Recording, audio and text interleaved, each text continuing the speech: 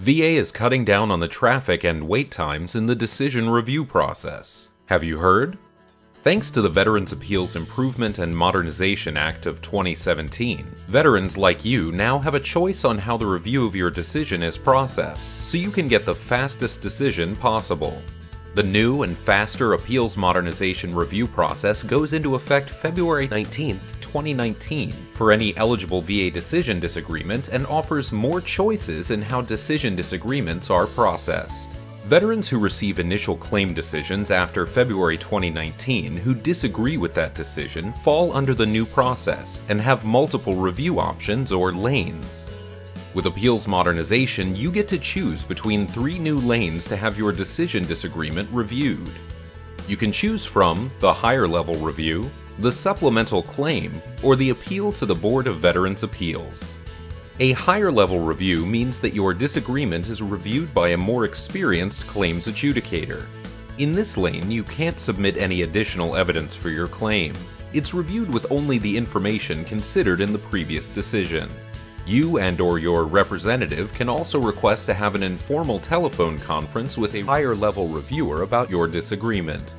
The supplemental claim lane gives you the choice to submit new and relevant evidence to support your claim before it's reviewed again.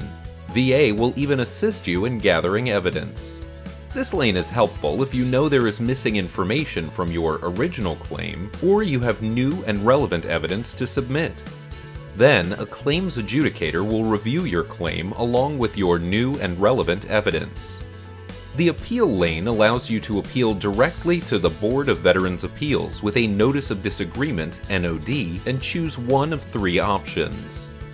You can choose a direct review if you do not want to submit new evidence and do not want a hearing. You can choose evidence submission to submit new evidence without a hearing.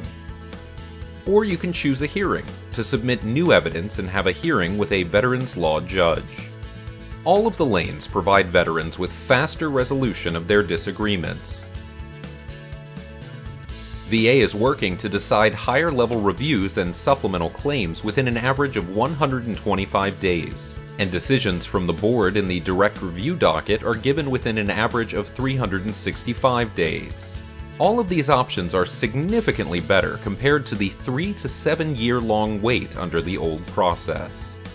Appeals modernization puts you back in the driver's seat of your disagreement and gets you the faster decision you've been waiting for. Want to learn how you can get your decision faster? Go to benefits.va.gov